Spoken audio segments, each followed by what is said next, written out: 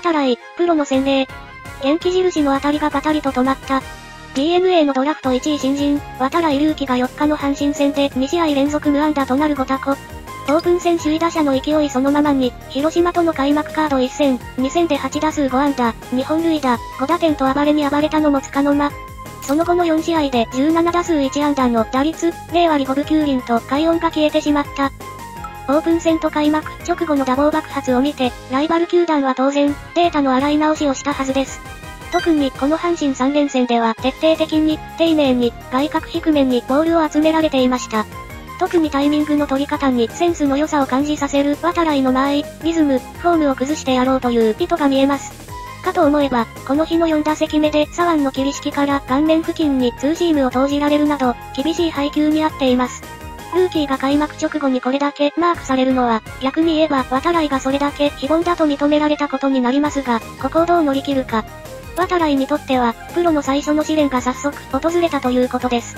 底抜けに明るく、物おじしないプラス思考のルーキーは、平凡なセカンドゴロに倒れた5打席目に自らを奮い立たせるように一塁へヘッドスライディング。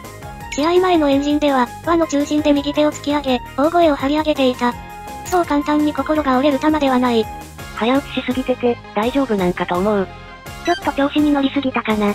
頭部デッドボールがあったが、あれだけ騒いだら、そのうち胸元へギュンギュン来ると思ってました。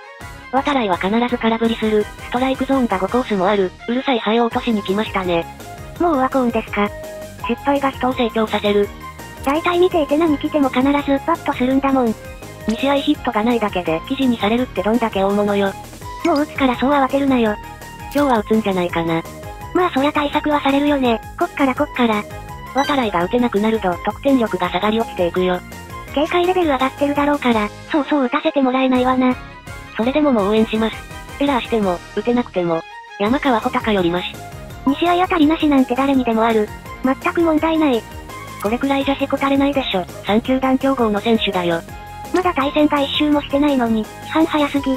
あれはできすぎたのであってまあこんなもんやろ。たまたま打って有頂天になりすぎ困難選手生命短いわ。順調に行く方が怖いでしょう。打った打たないに関わらず、持ち前の元気は消さないで頑張ってほしい。